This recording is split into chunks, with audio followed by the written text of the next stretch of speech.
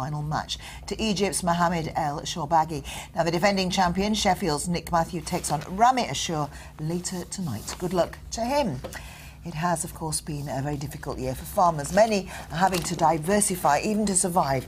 But one group will soon celebrate a decade of supporting their beleaguered industry. The singing farmers got together to raise money for the Royal Agri Agricultural Benevolent Institution.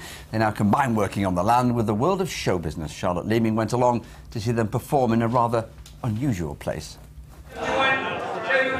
A busy morning buying and selling at the Selby Livestock Auction Mart. Amongst the crowd is Ken Jackson, a fourth generation beef farmer from near Pontefract. How much are you going to get for that? As much as I can. As much as these lads are going to give me. Today his bull failed to get the price he wanted.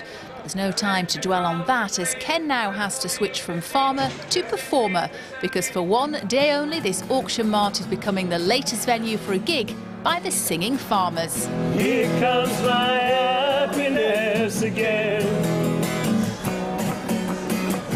Right back to where it should have been. Cause she is gone and I am free. And she can't do group was set up a decade ago by singer Chris Berry. He wanted to help raise money for the rural community following the outbreak of foot and mouth. But he had no idea how popular the concerts were to become. I can't believe that we've actually got to 10 years of it uh, anyway in the first place because uh, it, it's just people really enjoy what we're doing. It's, it, it brings it's, it's been regarded as a social community thing now where, where people come every year and look forward to it every year. If you should see her.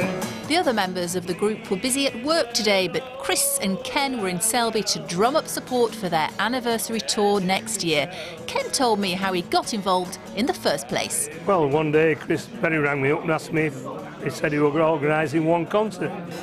And would we do this uh, one concert? Would I go and join them? There were four of them, I believe, then. And I said, yeah, sure, yeah. So that four, and I think we've done uh, 40 now. Did you imagine it would last this long? No, I, I didn't think we'd get first one over, to be quite honest, no.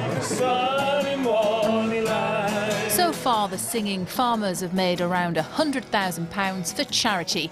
And at a time when the farming industry is struggling, the group isn't just raising money, they're also boosting morale. Charlotte Leeming, BBC Look North, Selby. Come on, Hudson, sing the forecast for us.